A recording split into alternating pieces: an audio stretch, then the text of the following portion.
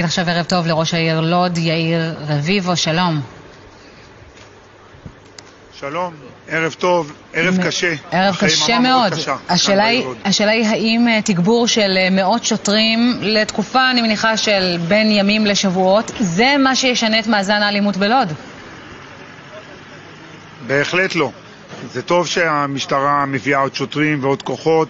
הדבר הזה הוא בעיקר חשוב לתחושת הביטחון ולמנוע אולי את, ה, את הרצח הבא על ידי אה, כך שהרוצחים השפלים שמסתובבים בכל רחבי החברה הערבית יראו יותר כוחות וידחו את, ה, את, ה, את הרצח לאחר שהשוטרים יעזבו פה.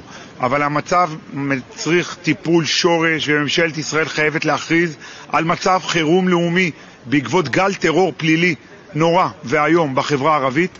אני פשוט מזועזע ואין לי ספק, ואני אומר פה משפט קשה, אין לי ספק שאם אתמול היו נרצחות אימא אה, ובת בשכונה יהודית ב- בעיר אחרת, המדינה הייתה עוצרת מלכת והייתה מכריזה היום על יציאה למבצע רחב היקף להפסיק את אדוני- הזוועה הזאת. אדוני ראש העיר, אני חייבת לשאול אותך, מה אתה עושה בעניין? מה העירייה עושה בעניין? איפה התפקיד שלכם בכל הסיפור הזה?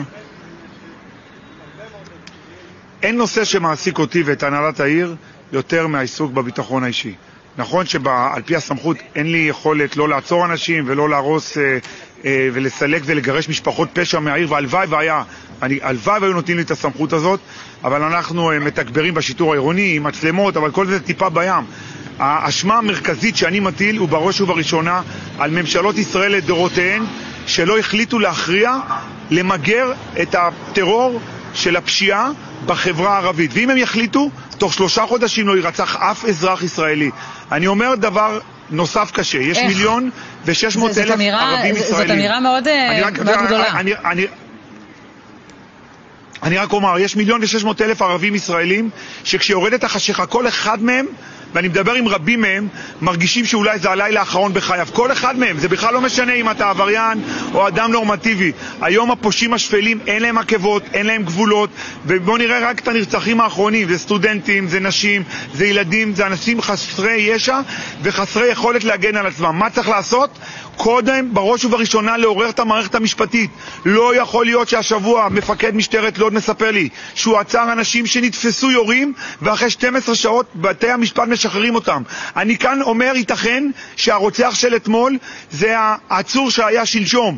ואני אומר דבר קשה, מערכת המשפט יש לה חלק גדול במה שקורה כאן. יש סיכוי סביר מאוד שהרוצחים שמסתובבים בינינו היו כבר בידיים של המשטרה ושוחררו על ידי מערכת המשפט. ולכן, אני בעצמי כבר ניסחתי הצעת חוק לפני שנתיים שקובעת מי שמשתתף באירועי ירי, אם על ידי סחר או החזקה או שימוש, עשר שנות מאסר, אך לא פחות מחמש שנות מאסר מינימום. לצערנו, מערכת. המשפטית והפרקליטות לא רוצים לכבול את ידי השופטים. אני, אני שב ואומר, חייבים עונש מינימום, אחרת נמשיך לראות פה את הזוועות האלה. בוא, בוא נתחיל בעונשים בכלל. יאיר רביבו, אה, ראש אה, העיר לוד, תודה רבה. תודה לכם.